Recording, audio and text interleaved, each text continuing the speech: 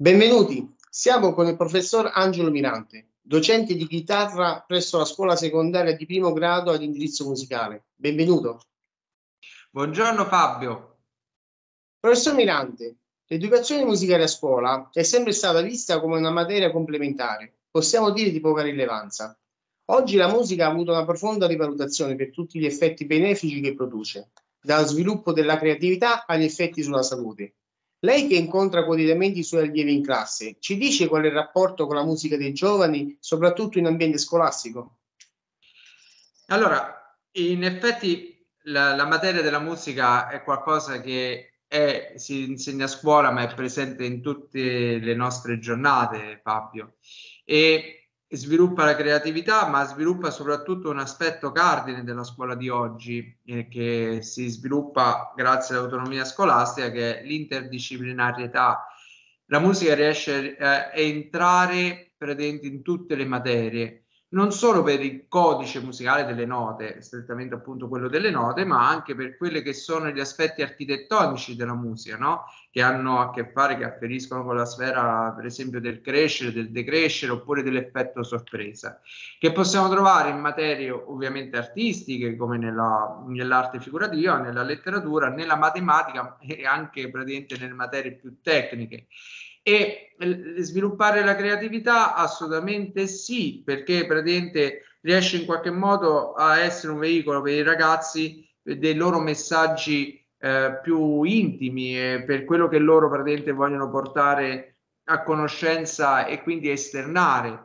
E diventa appunto poi un aspetto antico del valore della materia, cioè diventa appunto medicina dell'anima perché riesce a curare il proprio animo di ognuno di noi, sia di chi fa musica che di chi ascolta musica.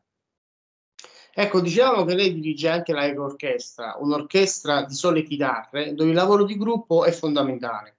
Questo approccio che in ambito educativo potremmo definire di cooperative learning potrebbe essere una via per imparare agli alunni a lavorare insieme in modo piacevole? Sì, assolutamente sì. Io ho avuto um, nella mia esperienza praticamente quella di voler organizzare un'orchestra di chitarre, che è un po' un ossimoro perché è qualcosa di atipico. Eh, però l'idea qual era? Era mettere insieme i ragazzi e sviluppare il terzo stadio della musica, cioè il, la parte performativa, perché c'è lo studio, c'è la ripetizione, che è doveroso, no? Come aspetto in, in una disciplina, una materia che è poi una disciplina. Però bisogna in qualche modo far vivere l'esperienza della musica agli alunni, quindi di metterli davanti eh, a un pubblico, di metterli magari su un palco e renderli protagonisti in un'esibizione. E mentre nello sport, giustamente nella maggior parte dei casi, se non sempre vince chi arriva primo, in musica quando si lavora insieme si vince se si arriva tutti insieme. E l'aspetto della cooperazione è fondamentale a mio vedere, perché mentre nella collaborazione può esistere, praticamente eh, esiste una competizione, nella cooperazione si lavora tutti insieme affinché tutti insieme si arrivi allo stesso risultato. Quindi succede anche che si vanno a compensare delle piccole lacune dei compagni o di compagni di reparto praticamente dell'orchestra per arrivare tutti insieme allo scopo appunto della riuscita del brano e della musica ovviamente.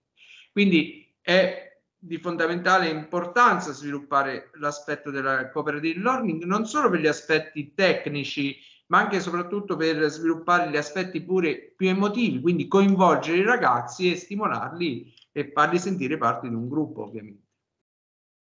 Ecco, il professor Uto Uchi ha più volte sottolineato il problema di una maggiore importanza della musica a scuola, ma ha anche affermato che è un'arma a doppio taglio, se insegnata bene risulta un valore importante per la crescita di ogni singolo alunno, ma se insegnata male può risultare distruttiva. Qual è il giusto approccio da adottare?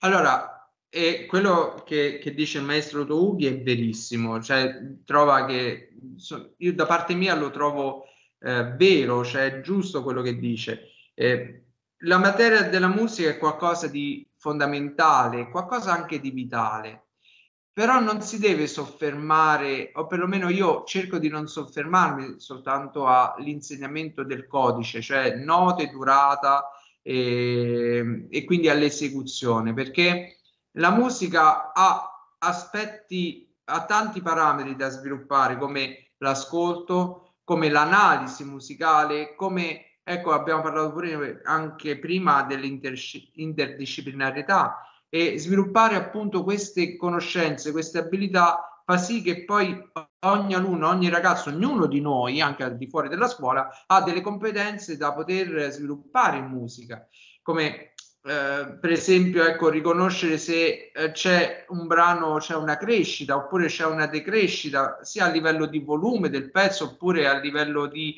inserimenti di strumenti in un momento particolare della musica, o se c'è un effetto sorpresa.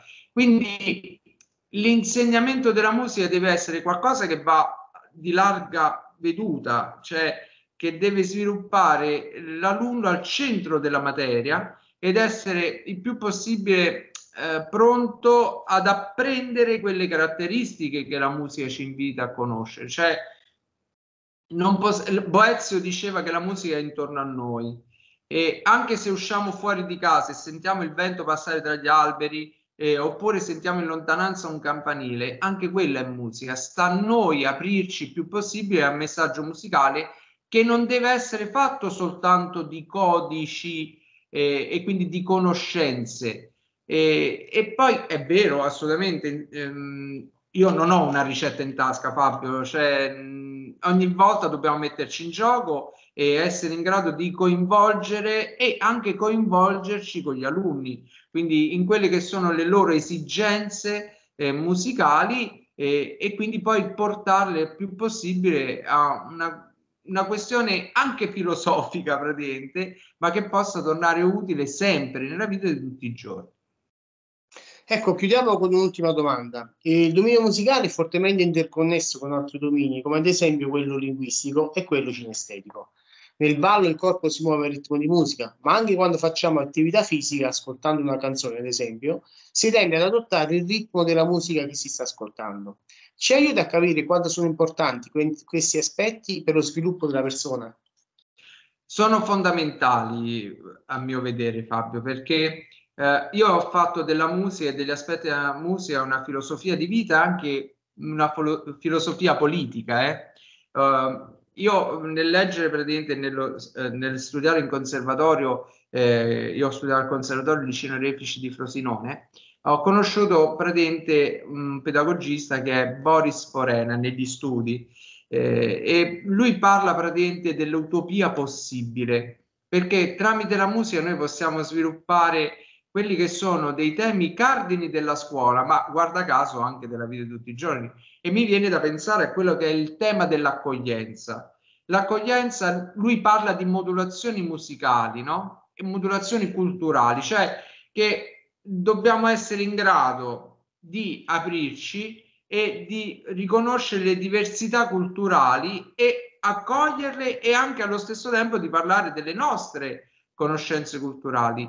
E quindi questo aspetto fa sì che sviluppi il più possibile l'accoglienza scolastica e sviluppa in qualche modo anche l'aspetto di una, mh, di una cultura, di una scuola democratica e innovativa. Cioè, pensare ehm, una vita per la musica è qualcosa un po' di antico, però pensare una musica per la vita può essere eh, qualcosa che ci aiuta a capire come la musica veramente deve essere eh, presente in tutti i giorni, in tutti i momenti per ognuno di noi. Come hai detto tu, quando facciamo sport, quando casomai siamo nella vita di tutti i giorni e possiamo ascoltarla anche se stiamo facendo altre cose, oppure nei momenti che facciamo puramente ascolto, ma anche nell'ascoltare un bambino che praticamente sta parlando e ancora non riesce a scandire le parole, lui sta facendo musica, nell'arte oratoria si fa musica, quindi quando nasce la musica? Beh, la musica nasce nel momento in cui poi già il parlare si fa teso ed emotivo, quindi questo vuol dire che sta a noi aprirci il più possibile al messaggio musicale e a quegli aspetti che la musica eh, educa praticamente ognuno di noi. Se facciamo questo, secondo me possiamo vivere anche meglio e stare anche meglio tutti quanti insieme soprattutto. Grazie professor Miranda per essere stato con noi. Grazie a te Fabio.